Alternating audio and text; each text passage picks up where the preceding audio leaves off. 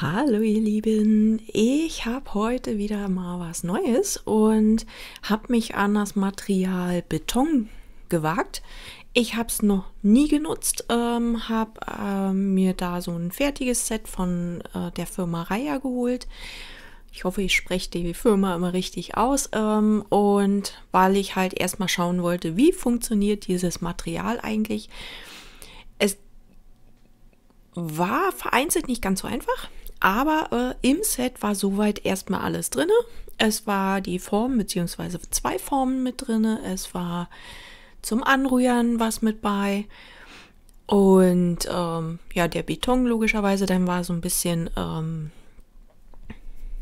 wie heißt es, ähm, Schleifpapier mit bei und dementsprechend war bis auf, also ich habe jetzt noch den Becher dazu genommen und was man eben halt auch brauchte, war ein bisschen Öl, damit man das, die Formen so ein bisschen einstreicht, damit sich das dann eben halt auch ganz gut wieder auslöst aus diesen Formen. Die sind sehr, ähm, das sind so eine, so eine Plastiksachen. Ich weiß nicht, ob ihr das kennt, äh, wo man halt zum Teil eben dann halt auch mit bemalen kann oder ähnliches. Äh, davon gibt es zum Beispiel auch Weihnachtskugeln, wo man dann halt auch drinnen mitmachen kann. Und dadurch war das dann auch relativ übersichtlich, was man jetzt an Materialien brauchte.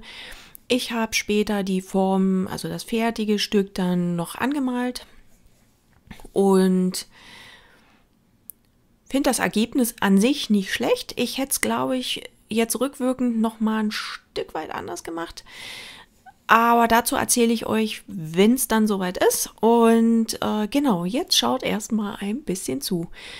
Ich habe es also dementsprechend jetzt erstmal eingeschmiert mit dem Öl, sowohl an der in der großen Form halt innen drinne und die kleinere Form dazu außen, weil diese kleinere Form wird in diesen Beton reingedrückt, also dementsprechend musste die äußere Form dann passieren. Genau, und dadurch war das jetzt relativ entspannt und wenig groß Aufwand. Genau, der Beton war dabei, dann musste ich einen Schluck Wasser reinmachen. Das steht aber alles sehr gut ähm, beschrieben, was für mich jetzt auch vollkommen okay ist. Ich habe mich ein bisschen dusselig eingestellt mit der Verpackung, aber auch das, glaube ich, kennt jeder mittlerweile von mir. Vielleicht auch von sich selber. Verpackungen sind nicht einfach. und genau, dann habe ich das Wasser da reingemacht und habe dann ordentlich gerührt. Ähm, es ist gewöhnungsbedürftig vom Beton her. Wie gesagt, ich kenne Beton noch gar nicht. Ich würde es, glaube ich, schon gerne noch mal ausprobieren mit einem anderen Stück, äh, mit einer anderen Form und würde da auch gerne noch mal schauen. Das ist wie mit dem äh, Resin oder Jasmonit oder wie auch immer sich das ausgesprochen wird, aber da schaue ich gerade noch, ähm, da bin ich noch gar nicht sicher, wo bekomme ich es her, was brauche ich noch dazu, weil da gibt es so richtig nur bedingt fertige Sets und äh, dadurch, genau. Ich habe es dann einen kleinen Moment stehen gelassen, weil ich das Gefühl hatte, äh, irgendwie war es dünn. Also äh, zu vergleichen ist es irgendwie, man hat einen Schluck Wasser und unten sind Steinchen drin. Also so ungefähr war es jetzt so vom Vergleich her. Für mich natürlich erstmal relativ ungewohnt. Ähm, und wie gesagt, ich sage gleich noch was dazu, wenn ich es mache. Ich hätte es, glaube ich, jetzt rückwirkend nochmal versucht, zumindest anders zu machen. Ob es jetzt wirklich dann gegangen wäre, ist jetzt wieder eine andere Sache. Ne? Also, aber ähm, ich möchte es gerne nochmal nutzen und dementsprechend war das halt Tatsache auch ein schöner Test für mich. So, jetzt gieße ich es rein. Und ähm, war für mich jetzt, ähm, das war jetzt eine Sache von ein paar Minuten, also überhaupt nicht viel Aufwand, aber man hat so ein bisschen so dieses Spannungsgefühl, da jetzt zu schauen, was kommt vielleicht am Ende raus. Und dann habe ich noch so ein bisschen geschaut, dass es äh, verteilt ist ähm, und habe geschaut, wie es jetzt am besten ist. Und dann kommt auch diese kleine äh, Form da rein, die sollte so mittig reingedrückt werden. Ich habe sie irgendwie nicht so tief reinbekommen, weil die fertige Schale ist nicht ganz so tief, wie ich sie mir vielleicht gerne gewünscht hätte. Was aber auch letztendlich es ändert nichts daran, dass ich das Ergebnis trotzdem sehr schön finde. Ne? Und ja, und dann ähm, habe ich ganz viele Steinchen aus meiner Wohnung noch zusammengesucht, äh, um diese kleine Form zu beschweren. Damit sie halt nicht durch diese, ähm, dieses Trocknen halt oder das, das zu weit nach oben wieder schwimmt. Und das Ganze ähm, habe ich jetzt dann circa zwei Tage äh, trocknen lassen. Zwei oder drei Tage, je nachdem. Ich bin auch nicht sofort dazu gekommen, äh, das mir weiter anzuschauen, beziehungsweise aus der Form rauszunehmen. Und dadurch hat es einen Moment gedauert. Aber es hat eben auch länger als die Zeit halt gebraucht zum Trocknen, zumindest bei mir. Das kann natürlich auch immer an der Luftfeuchtigkeit liegen, das kann an allem Möglichen liegen. Und habe auch ein bisschen gewurstelt mit dem Rausholen und habe eben beim Rausholen schon gemerkt, okay, ich würde es, glaube ich, gerne zur Sicherheit noch einen Moment trocknen lassen. Und äh, dementsprechend habe ich dann eben das noch getrocknet. Mir ist leider unten die Spitze von dem Herzen abgefallen. Es hat jetzt aber auch nicht wirklich, ich habe es dann versucht später beim ähm, weiteren Bearbeiten dann entschieden, ich versuche es ein bisschen abzufeilen, aber es muss ja auch nicht immer extrem spitz sein. Also war das dann auch okay. Und wie gesagt, ich habe es dann noch einen Moment äh, trocknen lassen und dann habe ich es weitergemacht. Ja, ansonsten schon mal vorweg, äh, falls euch meine Videos gefallen, meine Art von Videos. Wie gesagt, ich lerne immer noch dazu. Ich schaue immer, dass ich euch da auch gut mitnehmen kann. Und ja, ich bin kein Profi. Für mich ist das ein reines Hobby. Und ähm, dadurch nicht traurig sein, wenn manche Sachen vielleicht mal nicht so rüberkommen, wie ich sie gerne möchte. Schreibt mir dann gerne mal rein, dass ihr euch das vielleicht gerne mehr gewünscht hättet oder ähnliches. Also, wie gesagt, es ist ein reines Hobby für mich und ich habe Spaß daran, euch das zu zeigen, was ich mache, wo ich mich austeste, wo ich gerne schaue, was gibt es noch für Möglichkeiten für Sets und ähnliches. Und genau, ihr dürft gerne einen Daumen nach oben dann immer da lassen oder ein Abo und ich freue mich über jeden einzelnen von euch und sage sehr lieb, ganz, ganz dolle Danke. Und genau, ihr seht, ich habe äh, dann so ein bisschen an dem Herzen rumgefeilt, sowohl an den Kanten als auch innen drinne.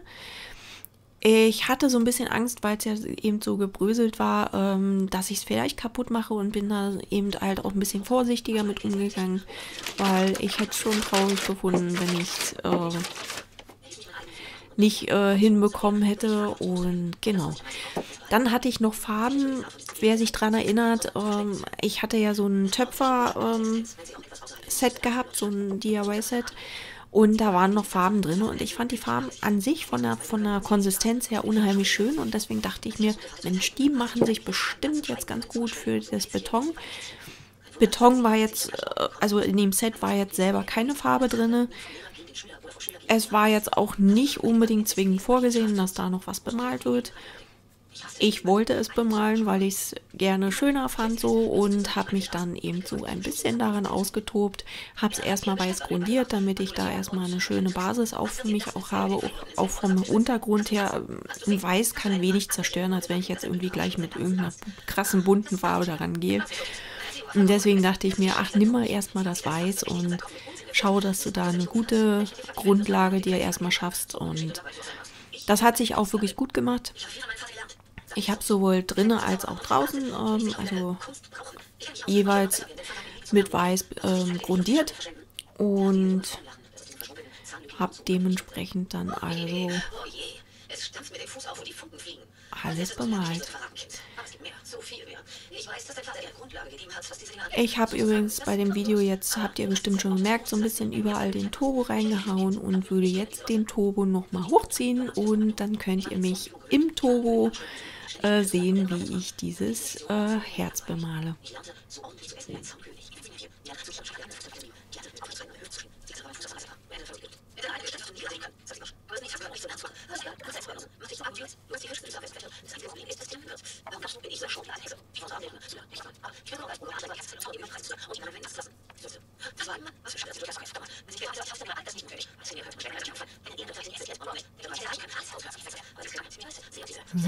Jetzt male ich ähm, die äußere Umrandung des Herzes ähm, mit Gold an.